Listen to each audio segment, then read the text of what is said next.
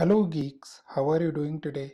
Welcome to my channel and topic of this video is relationship between shared pointer and weak pointer. Uh, both are C++ smart pointer and if you are not aware of them, I'll highly recommend you to go ahead and look into my C++ smart pointer video series to get to know what these are and how it can be used. So let's start with shared pointer. So I can create a shared pointer for my structure which I have created as I can use make shared and no arguments. So the advantage of shared pointer is that we don't need to explicitly delete it. As you can see that constructor and destructor both get calls because once the shared pointer get out of the scope it automatically deletes the memory allocated by it. And shared pointer means the pointer can be shared. So I can take the shared pointer in another another shared pointer like this. And shared pointer is managed by reference count.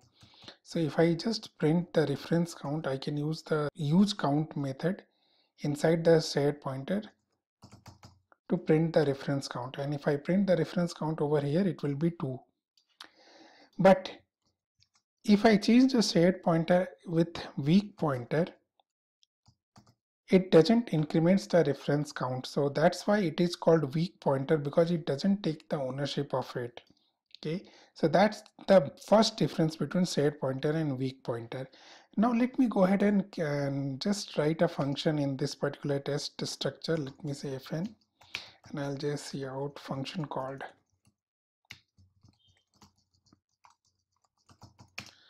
Okay so with shared pointer, I can just go ahead and call the function like this. And if I go ahead and compile, you can see that this function is called.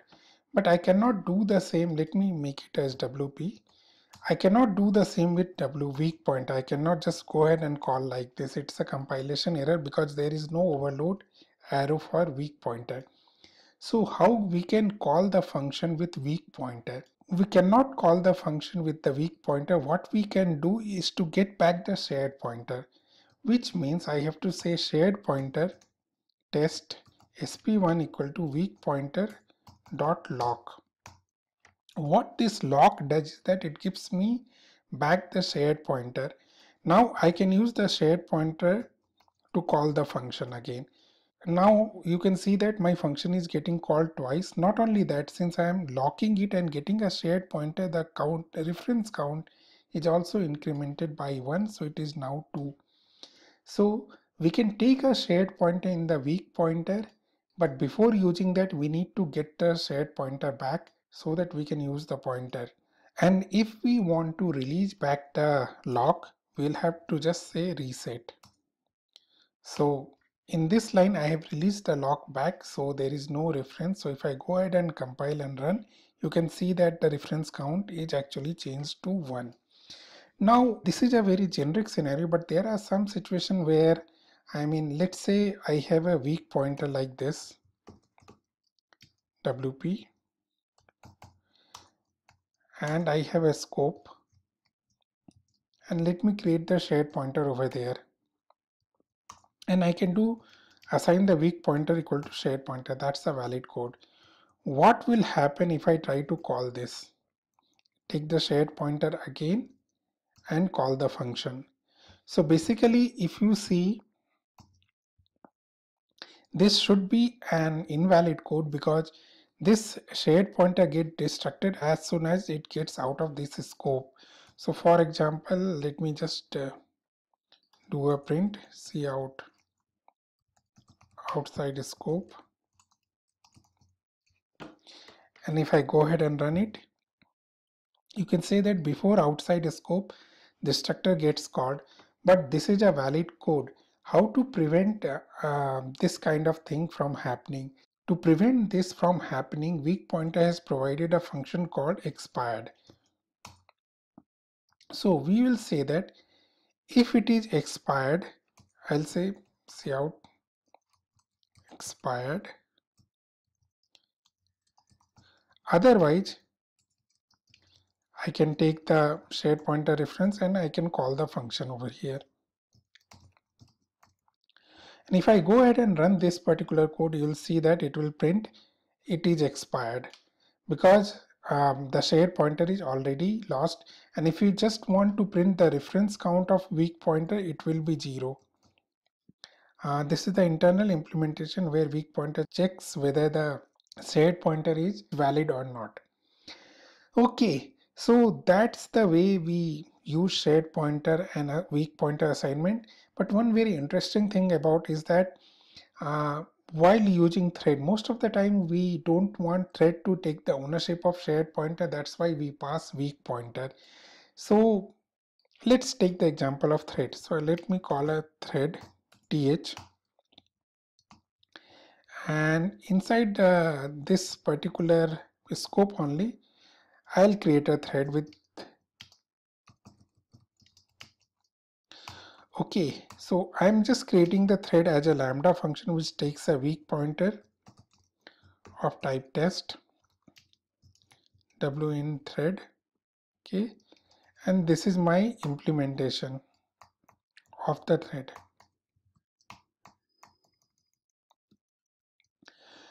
in this uh, let me just print I am inside thread. And let me sleep for a while. Chrono. Uh, let me sleep for two seconds and in here I'll just check if uh, w in thread dot expired. And I'll just print that. Uh, shared ptr is, ptr is no longer available. Okay. And what I'll do is over here is that I'll join the thread. Okay. So uh, cout out side scope so look what is happening. I am creating a shared pointer and I am creating a thread. I am passing this particular shared pointer as a thread parameter over here. I am passing sp okay, as a thread parameter. Now inside this thread I sleep for 2 seconds. So by the time the main thread execution will go out of this scope and this shared pointer will be deleted. So in this particular case ideally uh, this uh, expired should be called but let me just do one thing. Let me typecast it with weak ptr I'll tell you the reason for this typecast but let me write, try to run this code. Now you see that constructor destructor get called inside thread get called and this says shared pointer is no longer available because it is lost. So that's the way you can pass the shared pointer as a weak pointer inside a thread and make sure that you lock it only when it is not expired. Now one very important thing.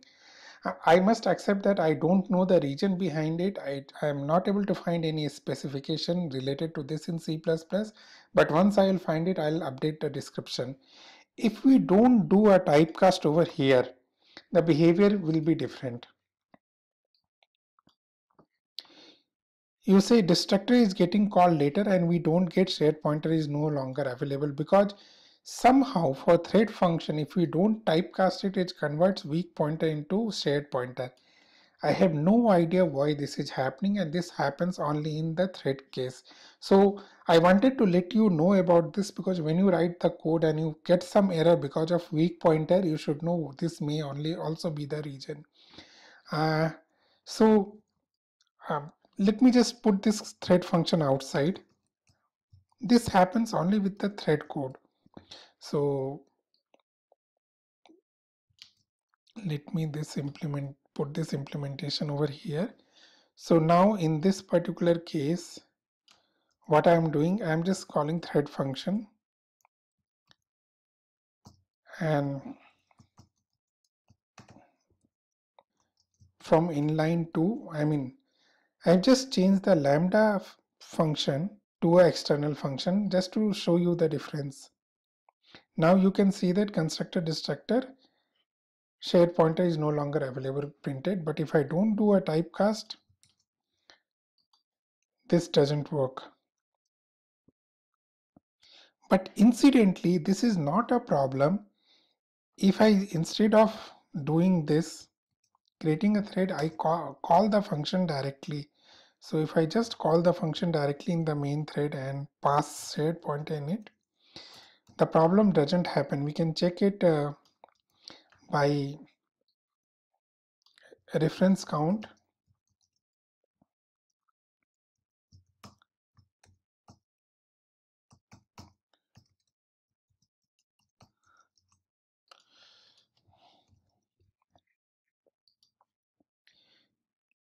you, can say the, see that the count is actually 1 uh, but I have not typecasted it over here. Instead I if I create a thread function the counts become 2 and that's very strange. I don't know the reason why this is happening. But as soon as I'll find the reason I'll update the description or update in a different video. Okay? So that's uh, all about it. Just remember one thing when you are creating a thread you need to typecast otherwise the count will be 2 and you will not get the desired behavior. So that's all about the relationship between shared pointer and weak pointer. Thanks a lot guys. Thanks for watching. Please do not forget to subscribe. Thank you